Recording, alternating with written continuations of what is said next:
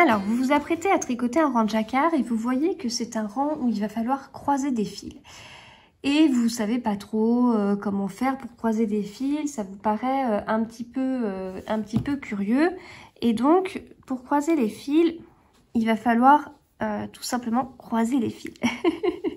donc, par exemple, en fait, on croise les fils quand ça fait trop longtemps qu'on n'utilise pas une couleur. Donc, moi, j'estime que quand ça fait plus de 5 mailles, donc 6, 7, 8, 9, etc. quand ça fait autant de mailles que ça, qu'on n'a pas croisé, euh, qu'on n'a pas utilisé une couleur, c'est le moment de croiser parce que derrière, euh, le souci, c'est euh, la tension en fait que, que la tension de votre fil derrière, votre motif il risque d'être un peu décousu. Croiser les fils, ça permet de sécuriser en fait. Ça permet quelque part quand vous croisez les fils, vous vous dites, par exemple, si, si pendant vous faites passer votre fil pendant 5 mailles et vous croisez à ce moment-là, puis vous, vous devez repasser derrière pendant 5 mailles. Sous-entendu, il y a 10 mailles entre chaque intervention d'une couleur contrastante. Le fait de croiser au bout de 5 mailles, ça veut dire, voilà, j'ai laissé un espace suffisant de fil derrière pour 5 mailles, je croise, je, sécurise ça, c'est verrouillé, le fil il est suffisant. Et ensuite, je relaisse un, un fil suffisant pour les 5 mailles d'après. Alors, on ne le fait pas trop souvent, croiser les mailles. Enfin, moi, je n'aime pas ça parce que ça peut se voir sur l'endroit. Pour éviter que ça se voit sur l'endroit, j'essaye de croiser mes fils à un endroit où je trouve que je trouve assez judicieux sur l'ouvrage. C'est-à-dire que je viens croiser mes fils à un moment donné où j'ai un changement de couleur, euh, si c'est un, si un rang à, avec trois couleurs, ou alors si sur le rang précédent, c'est un endroit où on avait un changement de couleur. Voilà, mais ça, tout est indiqué dans le diagramme pour vous aider. Donc, par exemple, ici, je vais tricoter 10 mailles avant d'utiliser à nouveau ma couleur contrastante. Donc là, hop, je suis à 4 mailles, 5 mailles. Je suis pile à la moitié. Donc, je décide que je vais croiser mes fils à cet endroit-là. Hop, donc je prends mon fil, je le passe devant. Voilà. Et avec celui-ci, je viens, hop, le, kidnapper, je viens l'enfermer.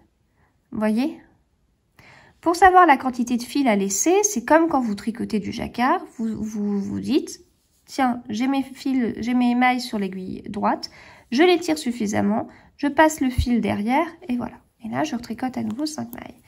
2, 4 et 5. Voilà. C'est le moment où je souhaite utiliser ma couleur contrastante et voilà, je l'utilise.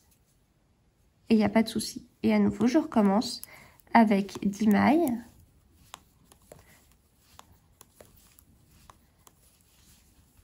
Voilà. Je passe ma couleur contrastante au-dessus, ce qui va permettre d'être prise euh, par euh, la maille euh, de couleur principale et je continue. Donc là, j'en étais à 3, 4 et 5. Et ensuite, je reprends mon fil de couleur contrastante pour faire une maille. Voilà, et ainsi de suite. Donc, c'est pas compliqué. Euh, si vous avez, euh, si vous devez croiser les mailles alors que vous êtes avec trois couleurs, faites juste attention au positionnement de vos fils et à vraiment régulièrement vous dire, alors, tout s'en mêle, où va chaque fil, etc. Voilà, vaut mieux s'interrompre dans son tricot et faire ça plutôt que de continuer à la fin jusqu'au bout et puis euh, d'avoir un énorme nœud à démêler, euh, ce qui est assez pénible et frustrant. Vous pouvez me faire confiance, ça m'est déjà arrivé plus d'une fois. Voilà, donc même si on est pris dans son tricot et qu'on adore et qu'on veut continuer à avancer, forcez-vous à vous arrêter pour voir où sont vos, fils. Euh, là, vous voyez, euh, c'était pas compliqué parce que ici, on avait juste le fil qui passait dessus. Il était enfermé par le fil de couleur principale et on continuait et ensuite on réutilisait le fil. Donc, il n'y avait pas trop de, soucis pour euh, des fils emmêlés. À partir du moment où vous vous amusez pas à changer de sens vos, le positionnement de vos fils, etc., il n'y a pas de raison que ça se passe mal. Voilà, donc voilà comment croiser les fils.